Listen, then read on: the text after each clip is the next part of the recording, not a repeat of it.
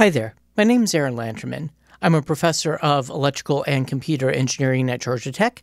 And while I was thinking about final project ideas for students in my guitar amplification and effects class at Georgia Tech, I came across this weird pedal called the harmonic percolator, which is really basically just a fuzz pedal, but it's a particularly aggressive sounding fuzz pedal. There are some instruments and technologies that are particularly associated with particular musicians. For instance, if it wasn't for Jonny Greenwood, very few folks nowadays would know about the Ondes Martenot. And if it wasn't for Wendy Carlos, few people would know about the digital keyboard Synergy. The fact that harmonic percolators are on anyone's radar screen at all is probably down to it being championed by recording engineer and shellac and big black guitarist Steve Albini. So let's dig into the schematic of the Interfax harmonic percolator HP1. I just can't get over how weird this circuit is. So this particular schematic was created by George Giblett, not sure if I'm pronouncing that right, with the help of a bunch of folks from the Harmony Central and Aaron Stompbox forums. So the signal comes in here, goes through this mess in front, goes through a couple of transistors, then has some back to back clipping diodes at the output, and then through a fairly standard output volume control. Notice that the diode clippers have a resistor on one of the legs, but not the other. So this is going to have some asymmetric distortion. Also, notice that there's no tone shaping circuitry after that. A lot of guitar distortion effects that use back to back clipping diodes like this, like the Boss DS1 or the Proco Rat, will have some kind of tone shaping circuitry after it to say tame some of the high frequencies you get out of this distortion so it's not too fizzy. There's none of that here. So this pedal is like, ah, have all these treble frequencies in your face, which makes sense that it would appeal to Steve Albini. If you listen to recordings of Big Black or Shellac, Steve has a very trebly kind of sound and not trebly in the quote unquote vox chimey kind of sense, trebly in the uh, swarm of mutant bees are attacking you and want to devour your face kind of sense.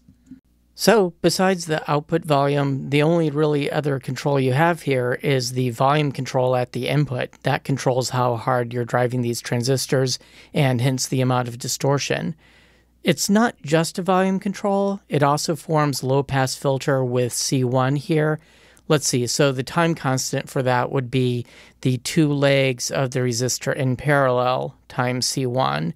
And so the cutoff frequency would be 1 over 2 pi, that time constant. Anyway, the diode clippers are fairly standard, the input's fairly standard. What's interesting is this two transistor structure. Let me start by supposing we already figured out all the bias voltages and currents. I'll come back to that point. And let's just do what you would consider a small signal or AC analysis. Let's assume that this AC coupling cap and this AC coupling cap and this AC coupling cap are all shorts. And let's assume that this giant cap here, this bypass cap, is also a short. If I think about it that way, well, I see that the emitters of the PNP germanium and the PNP silicon transistors are both grounded. So each of these is really a common emitter amplifier. To make that a little clearer, let me clear out some space here. So I'm not going to worry about the diode output. That's not the interesting part as far as what we're looking at right now is. Let me take this whole section up here copy it and squish it down here. And then let me grab some sort of wire here. So let's take that and copy that here. You get the idea, something like that. Okay, imagine this is a nice line connecting those. Anyway, there really is a capacitor here. So I would want to draw that in, but we're treating caps as shorts right now. And let me clear all of this out just to make it a little more obvious what's going on. Okay, so if we draw it like this, it becomes evident that we have two common emitter amplifiers where each of these has sort of a shunt kind of feedback from the collector back to the base. So here I have a feedback resistor of 220K, and here I have a feedback resistor of 750K, but it's all local feedback. You could really sort of treat each of these separately. So Q1 has a load resistor of 20K, and then Q2 has a load resistor of 91K. And if we had gone through the effort of figuring out what all of the bias currents are, we could figure out the gain of each of these stages and then figure out what we get with the feedback, et cetera, et cetera. So this is a pretty standard two transistor amplifier kind of structure as far as the signal flow goes. And I should make it explicit that this is a junction. There we go. The weird thing about this circuit is the biasing. So, as far as the DC bias goes, I want to get rid of all of the capacitors. We open up all of the capacitors. So we open up this. I said we open up this. There we go. All of this is open now.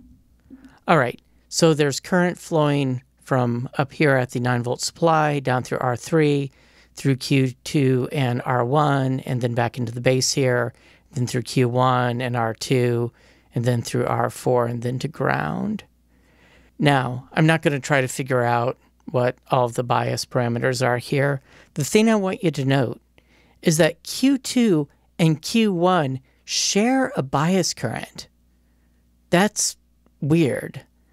Maybe this is a trick to try to save battery life or something like that. I'm not really sure. I don't think I've seen this before. Usually, when you see a two transistor amplifier, they're their own thing with their own bias current, and maybe one is feeding back to the other or whatever. But to have them share the bias current like this, that's kind of strange. If you've seen something like this elsewhere, please leave a comment below and let me know. And also let me know if there's any weird guitar pedal designs that you would like me to take a look at like this.